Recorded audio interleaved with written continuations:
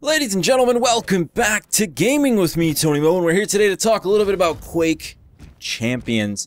I wanted to start doing tutorials that coincide with my personal progression inside of Quake Champions. The beta is going to be running until the 21st of May, and of course, we could potentially be getting more opportunities to play the game in beta form as it moves forward towards its final release, whenever that happens. Bethesda has taken time with Elder Scrolls Legends, and I imagine it and Bethesda are going to take just as much time to make sure that they get Quake Champions as good as it can be.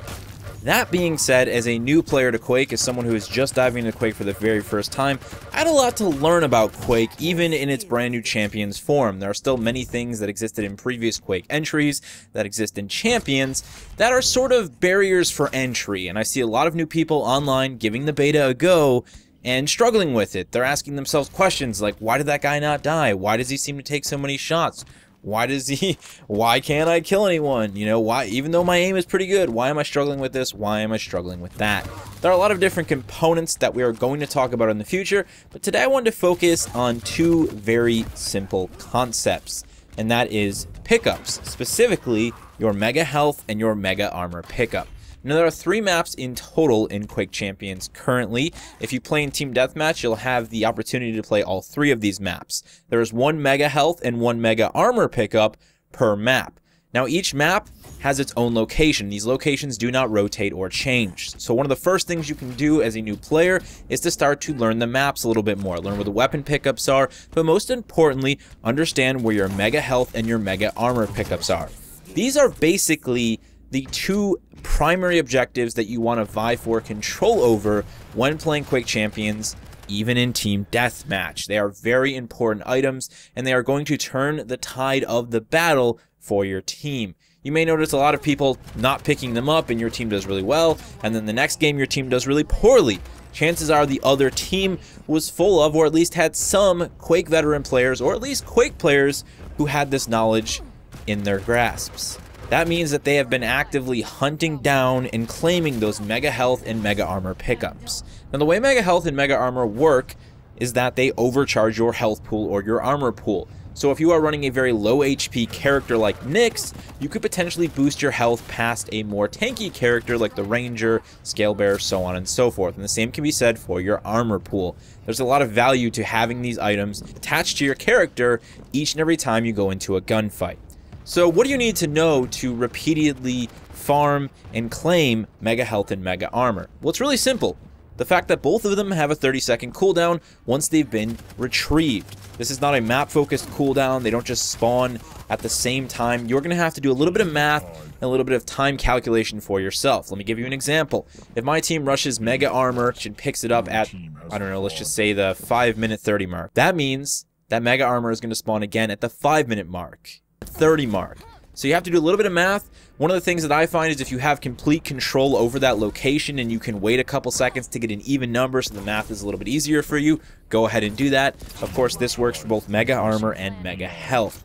The best practice advice that I can give you is to focus on just farming and obtaining Mega Health and Mega Armor almost like in a circle. Basically make a route around the map, grabbing weapons, and then coming back for armor, coming back for health. Now, if you're playing alone, this is just something that you can do and focus on. You don't really have to worry too much about whether or not your team is coordinating. Um, you will have to, of course, worry about the enemy team if they're being consistently aware of these items, and you will have to deal with them.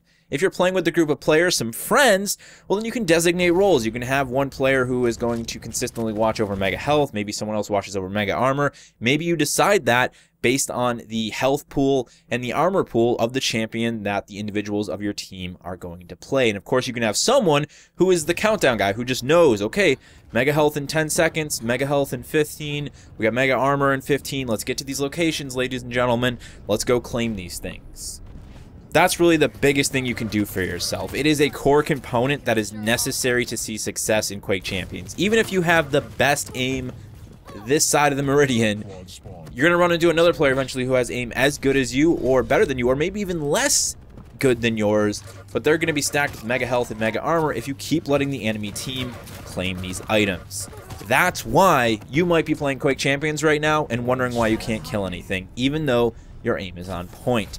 Now we do have one other very important pickup on the map, and that of course is quad damage. Quad damage sits at a 120 second cooldown, but it doesn't really matter for you to count it or worry about it once your team claims it because you are actually going to get an announcer call out when quad damage is 15 seconds away from spawning. And at that point, everybody's going to pool to quad damage and start going after it and hunting for it. So uh, quad damage, it's obviously important, but you don't have to worry so much about counting the counting the timer, counting the cooldown on that. You can just let the game announcer do that for you. Obviously, there are many other components to Quake Champions that many of you guys may be struggling with, including weapons, weapon pickups, your personal aim. These are all things we will discuss in future videos. For now, I want you to head out into Quake Champions, grab some friends. In case you didn't know, you can go right over to the Bethesda website right now. I'll have it down in the pinned comment. You can sign up for the beta, and I believe they're just giving out beta keys. And the beta is going to keep running until the 21st I believe it ends at like 4 p.m. EST. So you've got a lot of time, an entire week basically, to sit down and play Quake Champions. It is PC only. Take the advice I've given you here, and hopefully you'll start to find a little bit more success in your next outing as a Quake champion.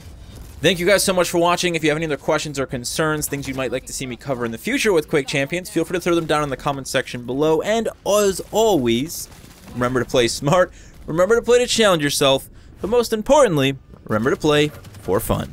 Don't worry about it. You are never going to win.